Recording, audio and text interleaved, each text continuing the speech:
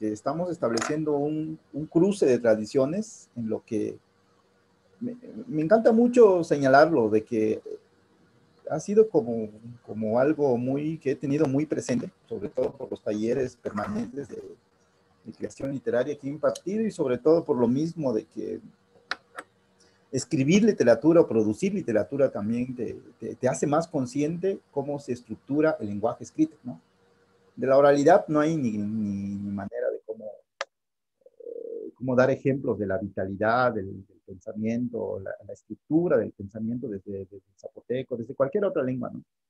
Otra lengua indígena. Está siempre presente esa, esa vitalidad, todo, todo, todo, la, la naturaleza misma, la esencia misma de la lengua, por ejemplo, eh, en las lenguas del zapoteco, en las lenguas otomangues en general, ¿no? que, que están permeadas por tonos, están permeadas por, por otros aspectos que, que de, las, de, las, lenguas mayoritarias, siempre hay una intención casi metafórica, puedo decir, de que, nuestras lenguas están más cercanas por su misma naturaleza hacia la poesía.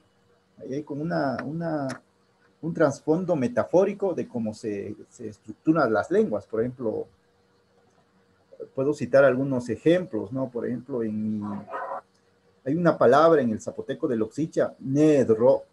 Ned es camino, ro es grande. Camino grande, las dos palabras juntas significa muerte. Imagínense. Nedro. Ned es camino, ro es grande. Camino grande es la muerte. Ahí guarda, ahí es un difracismo, se juntan dos palabras que nada tienen que ver con, con lo que sueltas o aisladas esas dos palabras, nedes, nedes, camino, ro es grande, pero nedro, así como tal, significa la muerte. Entonces, tras esa visión nada más de lo que, de lo que se piensa que es la muerte desde el zapoteco, es el camino grande, es como el inicio de otra vida. Entonces, ese solo elemento te, te, te, conecta con, con, otro nivel espiritual, digamos, ¿no? De, de, del trasfondo, la trascendencia, eh, que es lo que en realidad son, es cada, cada lengua es un mundo en particular y desde ahí su trascendencia, pues, ¿no? Entonces, esas dos palabras, nedro, muerte, significa, eh, para un zapoteco tiene una visión, la muerte no, no significa el fin, ¿no? Sino que en realidad es el inicio de algo más, es una conexión espiritual. Puedo citar otro ejemplo, por ejemplo, zo, decimos nosotros, zo, zo, como tal, como palabra es maíz, zo es maíz, ¿no? Pero fíjense, como, como hay tantos niveles de interpretación, bueno, tantos niveles, uno cuando ya se es consciente de cómo, cómo la literatura básicamente se construye palabra por palabra, línea por línea, expresión por expresión, hasta que se vuelve un texto literario, una recreación de la realidad, ¿no? Pero es en Zob, maíz es en Zob, tal cual, es como el, el objeto del maíz, el grano. Pero también en ese mismo zapoteco, tomen en cuenta, hay una palabra, dubdo, lágrima de la tierra. Ese es el nombre, ese es el nombre ritual del, del maíz, dubdo. Lágrima, du, du, do. Lágrima de la tierra, se, do es lo sagrado o la lágrima de lo sagrado. Eso significa el maíz en su visión, en, su, en la otra versión, digamos, de que hay dos acepciones para el maíz. Como grano es do, y como algo conectado con lo ritual o con el calendario ritual, con una deidad, de hecho, Beindubdo es la segunda deidad de los zapotecos. Bei es el primero, es hongo, la segunda es Dubdo, eh, la lágrima sagrada, que es el maíz en esencia. Entonces, en, en esos niveles, tanto maíz, zo, o Dubdo, lágrima de la tierra, pues uno se hace, inmediatamente es consciente de todo, de toda la profundidad que conlleva la lengua, pues, ¿no? A lo mejor en el, en el, en el nivel digamos, cotidiano o en la lengua coloquial, no, no, se alcanza a percibir, porque como, como a veces pensamos que hablar nada más es comunicar, pues lo básico de que como eh, utilizar, no sé, adjetivos, sustantivos, expresiones, darse con, establecer una comunicación en una lengua, ¿no? Que puede ser, pero, pero curiosamente el escritor o el traductor en este caso es alguien que explora más allá del lenguaje, pues. Ve todas las posibilidades del lenguaje, ve, ve de que, ve que esa simple expresión, ese simple maíz, si uno se, se, se pone a investigar eh, o si uno traduce muchos textos, se, da uno cuenta de que hay una conexión todavía más profunda al que trasciende, sí, finalmente las lenguas sirven para comunicar un mensaje, ¿no? Pero aquí lo trasciende porque va conectado con la, con la deidad, va, va conectado con, con, expresiones muy, muy antiguas.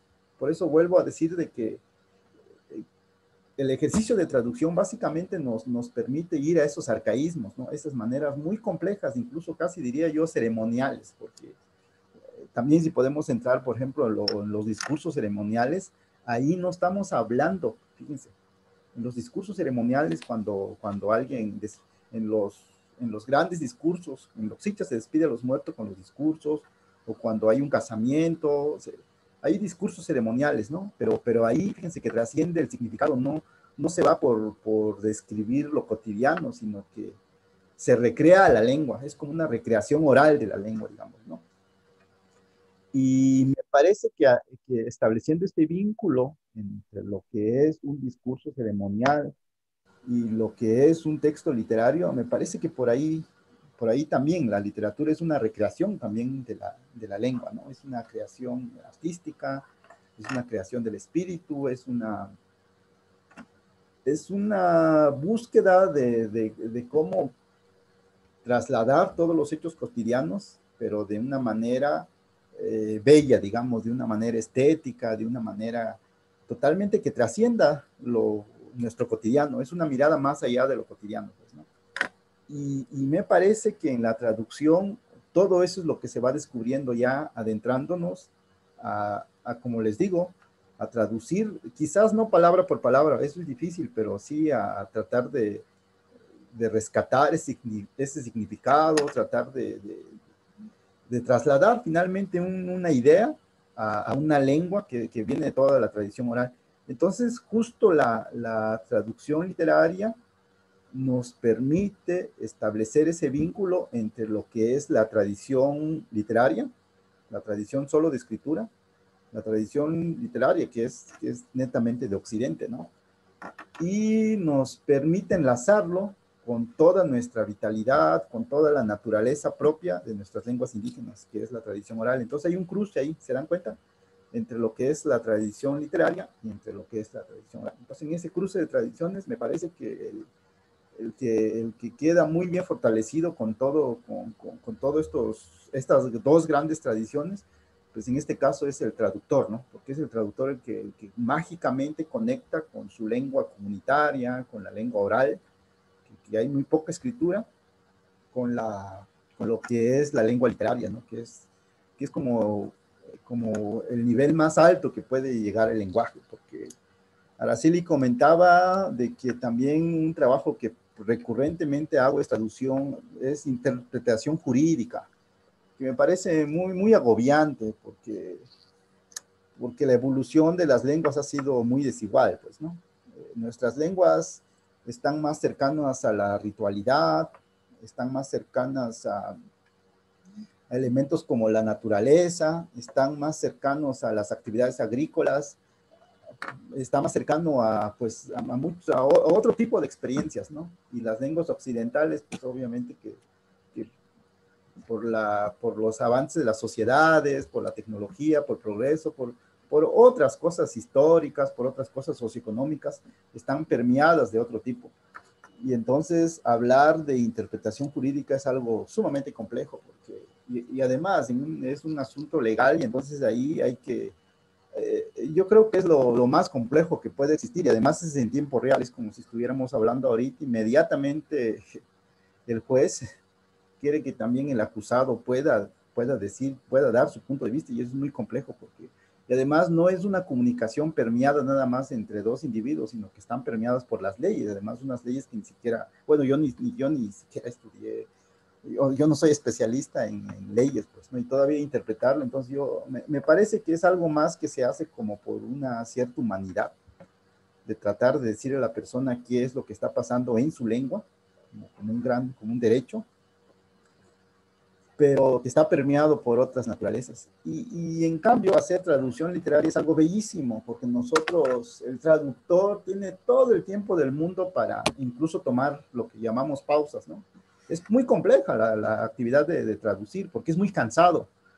Por ejemplo, les cuento de mi experiencia y de esto Ara también sabe muy bien, eh, cuando el maestro Toledo nos pidió traducir Lubina, que no sé si lo han escuchado, es un cuento de, de Rulfo que aparece en El Llano en Llamas.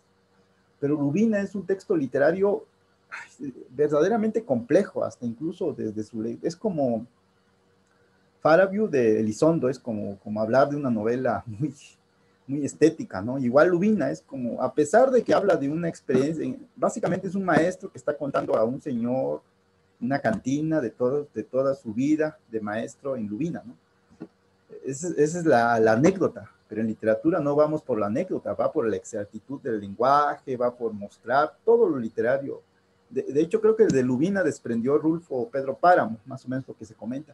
Entonces, ese cuento de Lubina en realidad son como ocho páginas en Word, fue una actividad que nada, que después de, de un párrafo uno quería tomarse un descanso de, un día, de dos días, porque era muy agobiante arrastrar todo lo que, lo que, lo que coloca Rulfo en ese cuento y llevarlo a tu zapoteco, ¿no?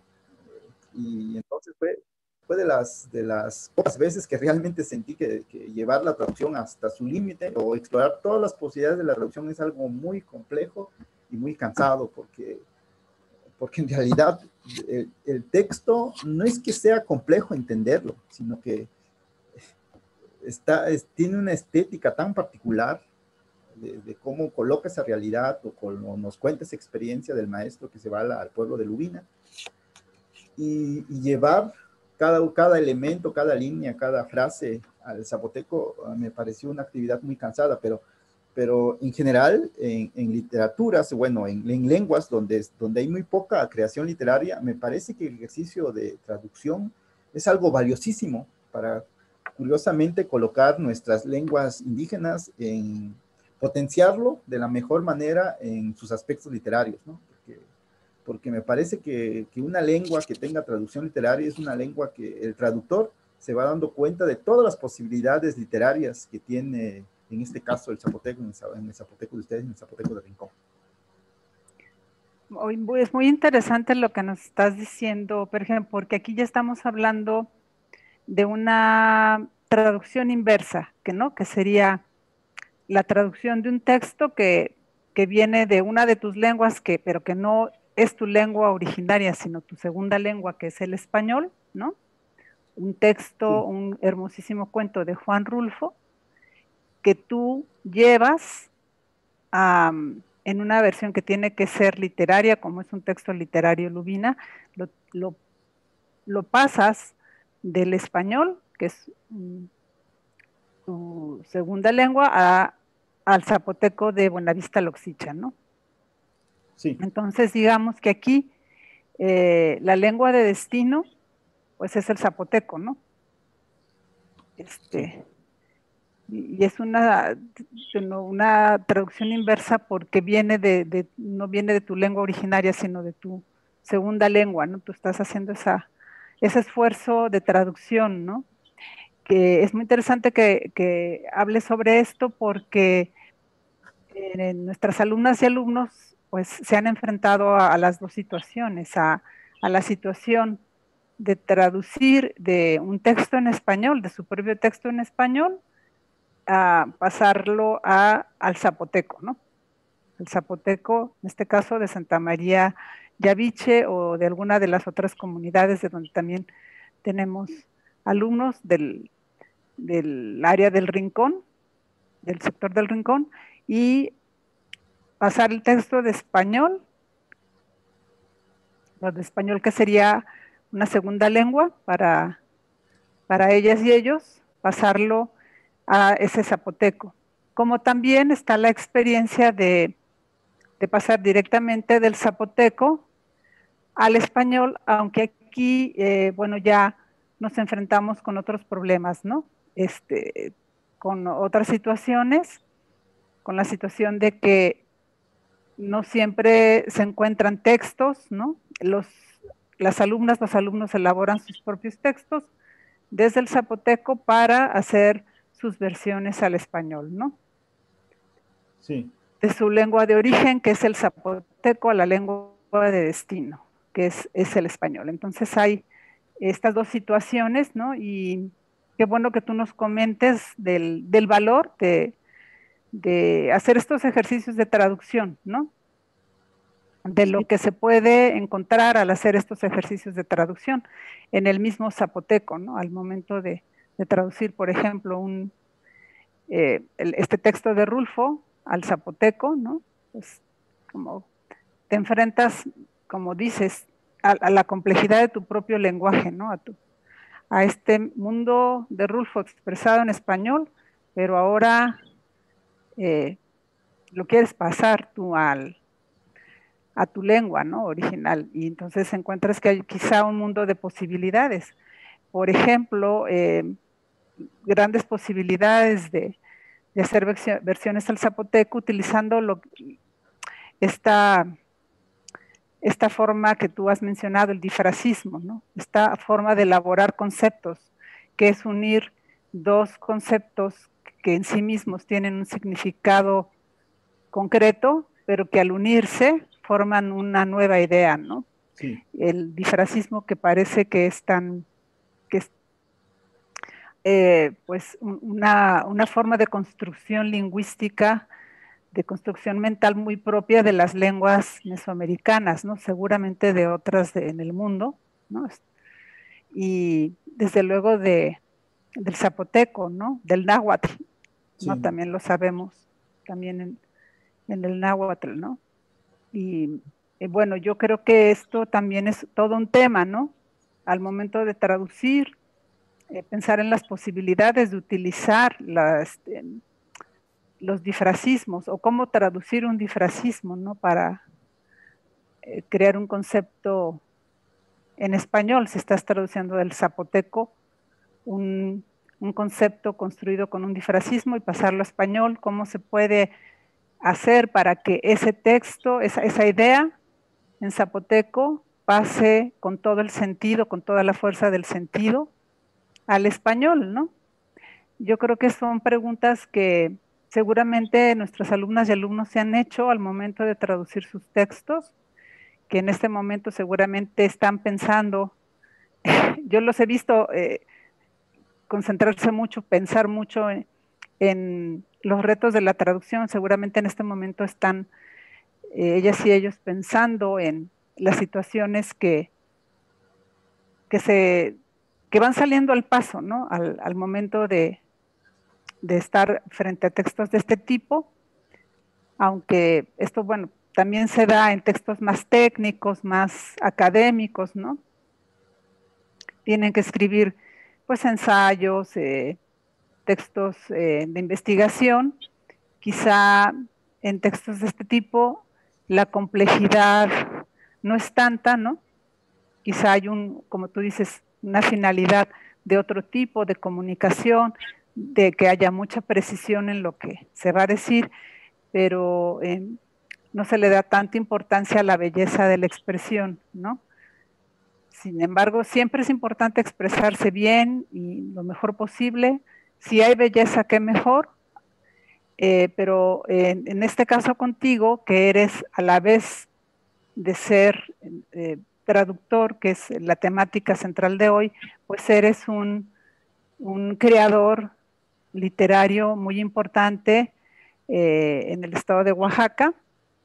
Eres alguien con, que tiene ya una, trayectoria y pues también para nuestros alumnos, para nuestras alumnas es importante saber que hay estas posibilidades en su propia variante, ¿no? Estas posibilidades de expresión literaria en la variante del rincón, ¿no? Hay una creación literaria también en el Zapoteco de la Sierra, muy, muy rica, ¿no? En el seminario Benishitza se ha hablado de Mario Molina Cruz, de Javier Castellanos, por mencionar nada más a dos creadores, ¿no? Este, de la región. Pero bueno, sabemos, y tú, tú has sido jurado en el premio Casa, este, has sido jurado de, para escoger los textos que más relevantes, ¿no? Y pues llegan llegan textos de todo el estado, ¿no? En el, de todo el estado de, en, Zapoteco, de distintas variantes. Entonces, eh, creo que es muy importante eh, para la comunidad Sushitsa escuchar esta experiencia tuya, conocer de esta riqueza, ¿no? De la, y sobre todo las posibilidades, eh, sin dejar de valorar la riquísima eh, tradición oral, ¿no? Sin dejar de reconocer que la tradición oral tiene una gran importancia, creo que poner el acento en las posibilidades de una escritura en Shitsa, eh, pues es lo que nos, nos centra hoy, ¿no? Las posibilidades de seguir escribiendo en Shitsa, traducir en Shitsa es lo que nos interesa, ¿no? En, la comunidad, estimular esto. Y yo te agradezco mucho que nos compartas esta experiencia y quisiera que pues continuaras comentándonos sobre las, sobre todo eh, ya en una tu experiencia directa, las, las dificultades también que se, se, te presentan, porque yo sé que tu experiencia con Lubina fue muy rica, o sea, realmente fue un reto para ti, ¿no?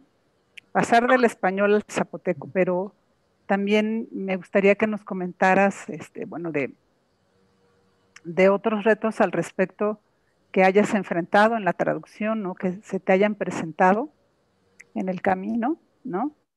De, hacer tus versiones, ¿no? Sí, me, parece que la traducción eh, nos coloca, está más cerca de un trabajo creativo, ¿no? Más que más que hacer una traducción de palabra por palabra, expresión por expresión, se capta el significado, pero la manera en la que se va a transmitir ese significado nos coloca más bien a entender en última instancia el asunto de la traducción o la traducción literaria como un asunto que va más a lo creativo, de ahí su importancia, pues, ¿no? Porque a lo mejor podemos tener una, qué duda cabe que en las comunidades, sobre todo en las comunidades donde se habla el, zapoteco, hay, un, hay un uso coloquial, digamos, cotidiano de la lengua y es bellísimo escuchar a las personas, ¿no? De hecho, sí. De hecho, uno, creo que ser traductor es como, está uno siempre atento cómo habla la gente, ¿no? Me, por ejemplo, ahí, por, por, el Centro de las Artes, que luego he ido a comunidades, por ejemplo, al inicio de este año, antes de la pandemia, fui a, una región de aquí de la costa donde hablan zapoteco de Loxicha. Bueno, son gente de Loxicha, pero se fueron, migraron hacia las tierras de calor. Entonces, nada más uno recreando, escuchar a los niños y sobre todo ir a las visitas y luego escuchar a, esos abuelos, a las madres. Entonces, uno, uno siempre, nunca deja uno de percibir todo ese, toda esa lengua oral, ¿no? y, me acuerdo de que las personas hablaban y entonces yo trataba de, uno nunca deja de anotar, ¿no? Porque, uno quiere, finalmente la, tradición escrita me parece que ayuda mucho a preservar una lengua, que es, que es en lo que en realidad también nos ayuda la traducción. Pero me parece que poner mucho énfasis de que la traducción más bien es un, es como un par, es parte del proceso creativo, pues, ¿no? Porque no se traduce línea por línea, sino más bien se está creando desde la naturaleza misma del zapoteco de Oxicha. Por ejemplo, si, en estos momentos hiciéramos una traducción, eh, yo trataría de que mis, mis textos lo entendieran, lo pudiera entender un monolingüe, un, hablante solo de, lengua zapoteco, diste de Oxicha, ¿no?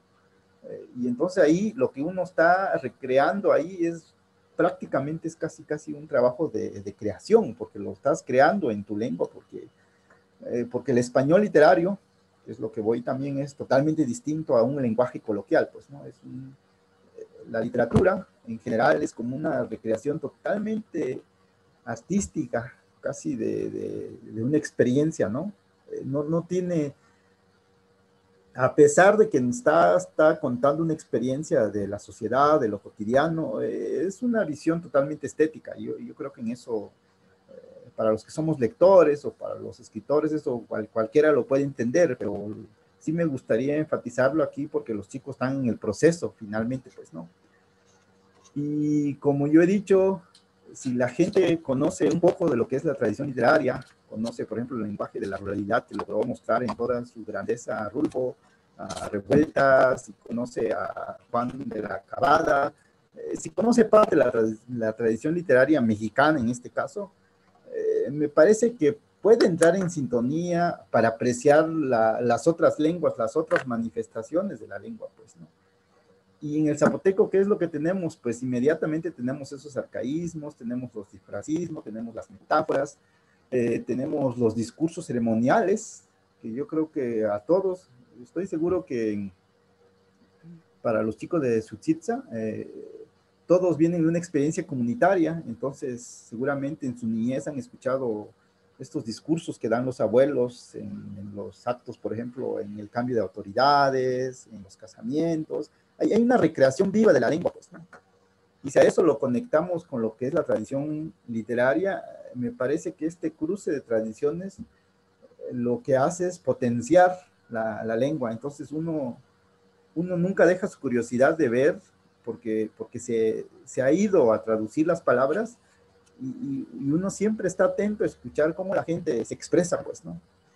Y yo creo que, que el solo proceso de traducción está más camino a lo que hacer creación, a una creación literaria, digamos, ¿no? Porque es totalmente recrear la lengua, porque es una lengua que la experiencia literaria, a lo mejor hay muchas maneras de, de, cómo uno puede entender la grandeza de una lengua, por ejemplo, en las lenguas indígenas, el zapoteco, el mixteco, el triqui pero su recreación escrita, digamos, nos lleva a otras cosas. Entonces ahí casi, casi lo que estamos haciendo es un trabajo de, de creación. En mi experiencia, por ejemplo, seguramente Araceli te, te, has de acordar de un poema que se llama Ye Inalai, Flor y Hoja, ¿no? Para, para evocar inocencia. Ahí hay un difracismo, pero lo único que hago es ahí tomar el difracismo Flor y Hoja, que Flor y Hoja significa ser inocente en el zapoteco. Entonces por eso vuelvo a decir, y casi las lenguas nativas, las lenguas indígenas, las lenguas originarias, están más cercano a, lo, a lo, poético por la manera en cómo se estructura, pues, ¿no? Entonces, esta, esta sol, estas dos palabras, flor y hoja, significan inocencia, entonces es lo que se cuenta en el poema, ¿no? Él es flor y hoja, él es inocente, se dice al final. Entonces, ahí uno muestra, pero, pero ¿de dónde se aprendió eso? Pues lo he aprendido mucho de los ejercicios de traducción porque en la traducción uno traslada un significado a otra lengua. Y cuando vamos a las lenguas, por ejemplo, al zapoteco, nos damos cuenta que es una naturaleza totalmente distinta, pues. Solo por hablar de las metáforas, eh, pero también en el zapoteco oral, digamos, están muy presentes los tonos. De hecho, los tonos son los que le dan significado. Y de manera concreta, me parece que hacer un buen ejercicio de traducción eh, el mejor ejercicio de traducción es el que hasta el, abuelito o la abuelita o la ama de casa o personas que, incluso ni siquiera están alfabetizadas, que ni siquiera pueden leer o escribir, solo con, un audio en zapoteco, cuando se cuenta una historia en su lengua, cuando ponen su cara de que, oh, como, manifiestan interés o realmente hay comprensión, me parece que ese es el nivel último que esperaría un traductor de que, la traducción esté bien, ¿no? Porque la gente realmente lo, lo, escucha y lo recrea, realmente le hace sentido, ¿no? Y, yo creo que ese es el nivel que, que, se llegó con las fábulas de Sopo, a pesar de que es un trabajo muy concreto, muy pequeñito, son solo 20 fábulas, fábulas muy cortas, pero llegar a ese nivel de, de, ir descartando como las posibles interpretaciones, sino que ir a la más cercana, incluso recrear, ¿no? Los huipiles, esto hay una recreación de la lengua porque hay muchas cosas que se nos dice desde la tradición griega en la que fueron escritas y que están permeadas por la tradición comunitaria. Entonces hay cosas que, por ejemplo, donde habla de esclavitud, donde habla de, de las joyas, del dinero, hay otras maneras de ir reestructurando desde la lengua. Y cuando ya se llega a un nivel de audio y se graba eso, ahí es como cuando uno con certeza sabe de que se logra establecer esa comunicación con el otro, porque en nuestras comunidades, por las situaciones que ha pasado el desplazamiento de las lenguas indígenas, eh, mucha gente pues ni siquiera en las comunidades, sobre todo incluso en Loxicha mismo hay gente que, que, que, es analfabeta y no, no puede siquiera poder descifrar qué dice eso en su lengua, pero si se coloca en audio, me parece que ahí trasciende todo y las personas pueden participar. Entonces ahí está, está recreada la lengua pero la traducción es un, es un ejercicio que da pie más a un ejercicio creativo, digamos, ¿no?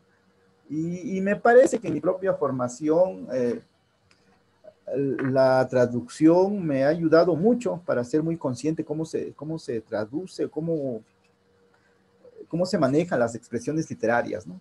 Y que al final uno después, ya, ya al crear tus propios textos, uno puede potenciar todo eso, ¿no? Porque qué duda cabe de que hablar una lengua y, hablar una lengua te hace como, te, te, coloca a comprender el mundo desde otra, desde otra dimensión, por así decirlo, ¿no? Hay como otra interpretación del mundo, digamos, ¿no?